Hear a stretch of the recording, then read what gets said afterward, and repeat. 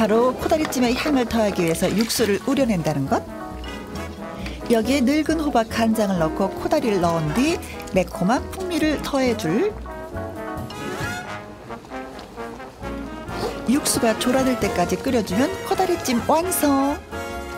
이거 정말 1,700원으로 만든 반찬 맞나요? 드디어 요리가 완성되고 평가를 기다리며 긴장하는 세 사람. 평가를 해야 되죠. 네. 저희가 특별히 세 분 모셨어요. 바로 앞에 계신 세 분이세요.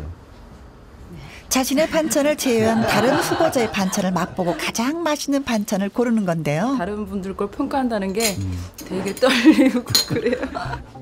제일 먼저 시식에 나선 이은경 도전자, 강경순 도전자의 황태구이를 맛보는데요.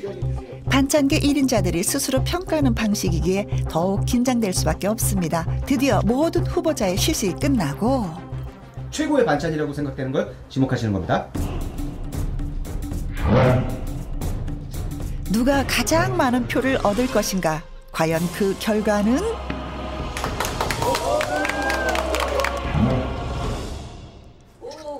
마치 약속이라도 한 것처럼 서로가 서로를 찍어 결과는 무승부. 그래서 준비한 2라운드 김치 대결. 시작하겠습니다.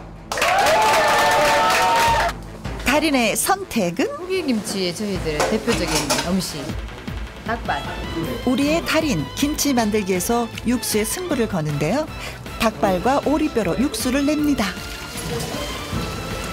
이은경 도전자 역시 김치 담글 준비를 하는데요.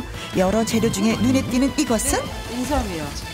김치에 인삼이 들어가요? 이 겉절이에 인삼 넣으면은 좋아요. 건강에도 좋고 향도 나서 좋고. 이은경 도전자 역시 김치에 천연 조미료로 쓸 육수를 만듭니다. 그런데 연륜이 돋보이는 강경순 도전자는 다른 두 사람과는 달리 육수 대신 이 갈색 액체를 사용하는데요. 이건 뭐예요? 네, 저희는 액젓을 끓이고 있어요. 그리고 나서 가장 먼저 배추 손질을 하기 시작합니다. 배추 겉을 돌아가면서 칼집을 내어준 후 가운데 심을 파내는 기술을 선보이는데요. 와, 그 결과 배추가 펼쳐지면서 자연스럽게 조각이 나는데 놀랍습니다. 끓여서 비린 맛을 없앤 액젓을 넣고 각종 양념을 넣은 강경순 도전자. 그런데 이후로는 일반 가정에서 겉절이하는 과정과 별 다를 게 없어 보입니다. 이거 너무 평범한 거 아닌가요? 김치는 간단해야 되잖아요. 간단하지만 강경순 도전자의 26년 내공이 느껴지는 김치. 이에 질세라 달인도 김치 양념을 하기 시작합니다. 양념 재료를 모두 넣고 골고루 섞을 수 있도록 잘 퍼부려줍니다. 그리고 다시 육수 위에 양념을 올려놓고 데워주는데요. 이유가 뭔가요? 이 육수에 그 지물 향기를 이제 요 양념에 배이게끔 육수의 향이 양념에 배어 더욱 감칠맛 나는 양념이 탄생하는데요. 이렇게 정성 들여서 만든 양념으로 배추에 버무려 주니 그 맛이야 물어보나 마나겠죠? 잘 됐네요. 호김치 완성됐습니다. 어머나 반찬에 고수의 정성이 듬뿍 담겨 더 먹음직스러워 보입니다. 그런가 하면 배추를 단칼에 내리치며 어슷썰기를 하고 있는 이은경 도전자. 그녀가 오늘 만들 김치는 바로 겉절인데요. 김치를 만들기 전 꼭 준비해야 하는 이것. 육수에 찹쌀풀을 넣어 끓인 뒤 걸쭉하게 되면 본격적으로 김치 만들기에 들어가는데요. 육수의 향이 한 번 더 스며들 수 있도록 고루고루 펴준 뒤 그 안에 고춧가루와 썰어놓은 배추를 넣어 잘 비벼줍니다. 이게 끝이냐고요? 아니요. 도전자의 김치를 특별하게 만들어주는 이것 바로 인삼입니다.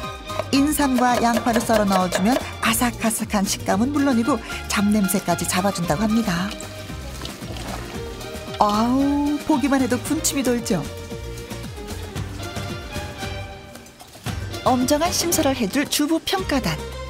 먼저 이은경 도전자의 인삼 겉절이, 어떤 결과가 나오려는지 궁금도 하고 강경순 도전자의 겉절이, 열심히 했습니다. 강갑전 달인의 포기김치. 맛있게 드셔봐 주시고 예, 현명한 판단 부탁드립니다. 드디어 김치 시식에 들어간 평가단. 먼저 손으로 뜯어 김치 고유의 맛을 보는데요. 다음은 김치의 단짝 쌀밥과의 조화를 알아보기 위해서 밥과 함께 음미했는데요. 어, 아, 김치 이렇게 음 먹고 싶은데요. 둘. 평가단의